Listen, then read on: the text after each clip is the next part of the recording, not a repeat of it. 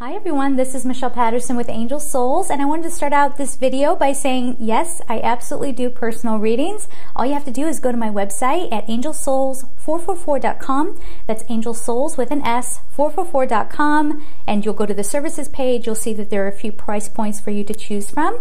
Go ahead and follow the instructions, and we'll get you in line for a reading. Take care.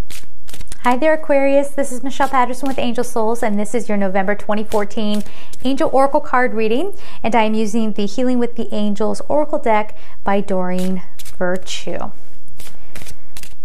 Some of you have forced an issue. That's coming up immediately. And a lot of you are carrying and harboring resentment or anger. And this is something that's probably already become apparent to you in October.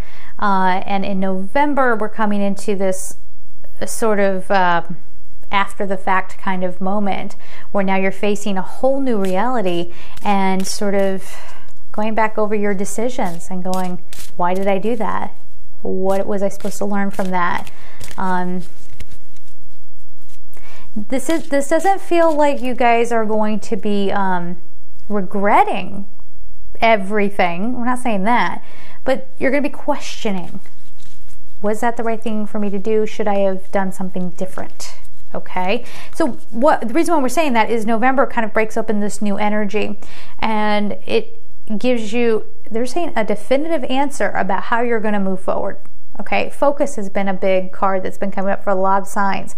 So it might be you getting your future into focus, which can be a huge relief if you've been kind of in the dark and not really knowing which way to go. Okay, so even though things didn't turn out maybe as you had expected, I think what you're going to find in November, like I said, you're going to get focus on how to move forward. And that in and of itself is a miracle. They're also saying that you need to learn how to love and accept the miracles that already are. If you're a parent and you have children, those children are, children are miracles.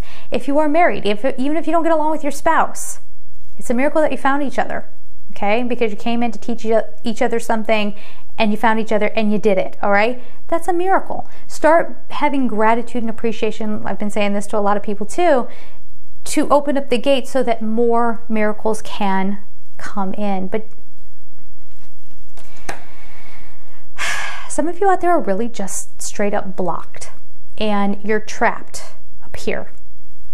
And I, you know, I'm recording these in October. October hasn't completely played out. So I'm, and again, it's a big theme for November for a lot of signs. They're all trapped up in their intellect. Um, and worrying about things and trying to plan and trying to get solutions for things. And what that does is that takes you out of gratitude. It makes you miss the good things that are already happening because you're too worried about what's coming next and then that blocks you off from experiencing more miracles. They're still occurring with or without you, but you're missing them. Okay? So you got to get out of your head. Let's get the next card going. Let's get a story going here. Let's see. Self acceptance. So, whatever comes up for you in October, it seems like November is the time where you're having to practice a little bit of self forgiveness somewhere along the line you realize that um, you made an error in judgment or you were impulsive or compulsive either way.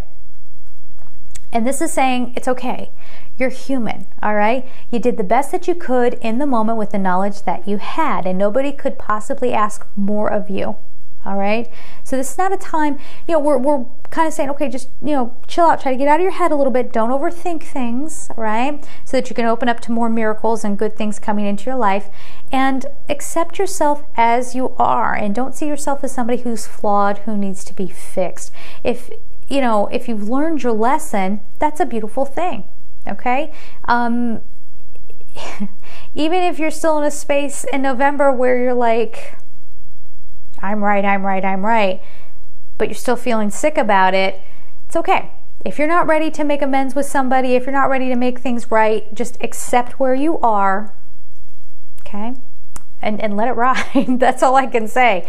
Um, but for some of you, there's there's a lot of just they're saying okay, and they're telling me to say self hatred a lot of self hatred. And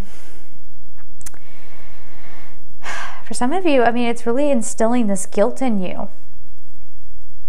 Again, you're human. Don't beat yourself up. All right? You always have the opportunity to do things different, differently going forward. All right? Dreams. They're saying this means dreams not like sleeping, but your dreams like your heart's desires. Okay? In your particular situation, it doesn't have anything to do with this woman sleeping per se. not not in the literal sense. And they're saying you've basically snoozed through your dreams. Okay, so they're using this more as a metaphor. Um, because you acted impulsively, you didn't wait until you had all the facts before you reacted, whatever that is for you guys, all right?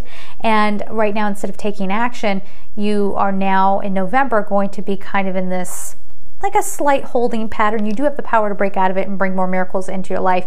But I think going into November, this feels like kind of the beginning. You, it's it's head in the sand kind of thing.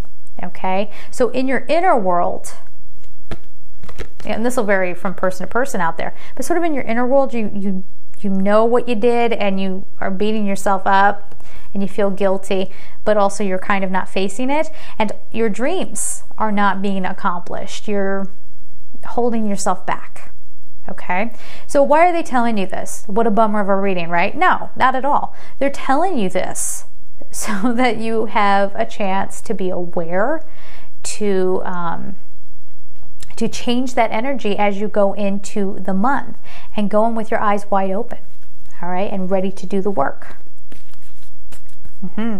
Next card, focus. This keeps coming up for a lot of people too. If you do the work, I think by the end of the month, you will have the clarity that you need.